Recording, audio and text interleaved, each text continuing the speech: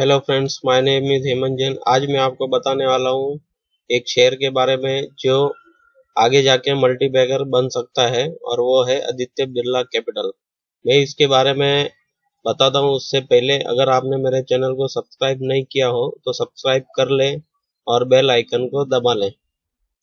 Aditya Birla capital, ये Aditya Birla group की एक कंपनी है जो अभी डी मर्जर होकर अभी आदित्य बिरला कैपिटल लिमिटेड के नाम से जानी जा रही है। ये मैं क्यों बोल रहा हूँ? क्योंकि काफ़ी एक्सपर्ट्स भी बोल रहे हैं कि ये आगे जाके मल्टी बैगर बन सकती है। अगर आपको लेना है शॉर्ट टर्म के लिए 230 से 250 के बीच का टारगेट बता रहे हैं। कोई अगर लॉन्ग टर्म लेना चाहिए तो वो लेके भूल जाओ, ऐसा बोल रहे हैं। इसका मतलब है ये आगे जाके मल्टी बैगर बन सकती है, क्योंकि इसके जो कारोबार है, वो काफ़ी स्ट्रांग है और काफ़ी अच्छे हैं। ये एनबीएफसी में है, जो गोल्ड लोन हाउसिंग लोन देती है और एसएमई लोन पर्सनल लोन ये सारे लोन्स ये कंपनी देती है। और हेल्थ इंश्योरेंस में भी ये कंपनी है और लाइफ इंश्योरेंस में भी है Aditya Birla life insurance company और काफ़ी बड़े अच्छे अच्छे मीन्स इनके काम है और असेट मैनेजमेंट के भी काम है और काफ़ी अच्छी कंपनी है स्ट्रॉन्ग मैनेजमेंट है। लॉन्ग टर्म में अगर आप रखते हो तो दो से तीन साल के बीच में इसका 500 का भी टारगेट है। अगर आठ दस साल के लिए रखते हो तो ये फाइव टू टेन टाइम्स भी इसका शेयर जा सकता है। तो मेरे हिसाब से इसे अभी लेके भूल जाने के हिसाब से ये अच्छा स्टॉक है। अभी इसकी लिस्टिंग हुई थी तो इसका हाई था 260 255 के करीब इसका हाई था और लो 173 और अभी है 187 तो ये एक अच्छा मौका है लेके रखने के लिए। जितना क्वांटिटी ले सकते हैं, आप ले सक, लेके थोड़ा रख दीजिए। 500 से हज़ार शेयर इतने लेके रख दीजिए।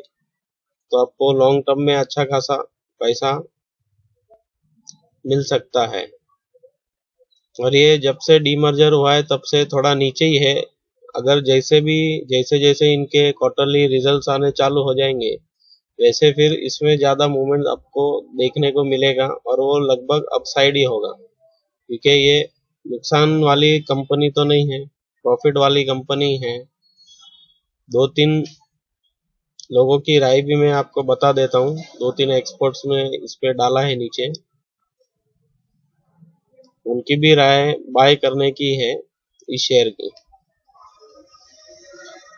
मेरे हिसाब से तो अच्छी कंपनी है। मैंने खुद ने 500 शेयर्स लेके रखे हैं और आप भी मेरे हिसाब से ले सकते हैं।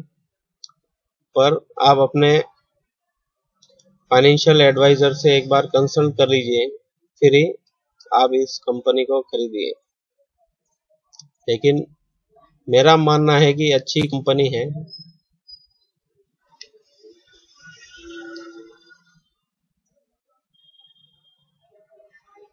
इसका अभी यहाँ पे कोई रिपोर्ट्स नहीं है। इसका बुक वैल्यू मैं आपको मार्केट वैल्यू दिखा देता हूँ। मार्केट कैपिटल 41,000 का है। बुक वैल्यू 43,000 की है। 43.24 रुपीस की है। इंडस्ट्री पीई इसकी 46 है। प्राइस टू बुक है 4.33 फेस वैल्यू है 10 ये आगे जाके और डीमर्जर भी हो सकती है इस कंपनी में से और दो तीन कंपनी निकल के आ सकती है। जो आगे जाके फ़ायदे वाली बात ही है। इंश्योरेंस बिज़नेस ही अपना अलग कर सकते हैं। हाउसिंग लोन जो है, जो इसी के अंदर चल रहा है, वो अलग कर सकते हैं। एसएमई लोन अलग कर सकते हैं। हेल्थ इंश्योरेंस का अलग हो सकता है। एसेट मैनेजमेंट का अलग हो सकता है। तीन चार अलग कंपनी निकल के आ सकती है तो उसमें काफ़ी अच्छा फ़ायदा होगा। मेरे हिसाब से तो आप ले सकते हो। मैं ये मैंने अपनी राय बताई है, लेकिन आप अपने एडवाइजर से एक बार कंसल्ट कर लीजिए। बस इतना ही आज बताना था।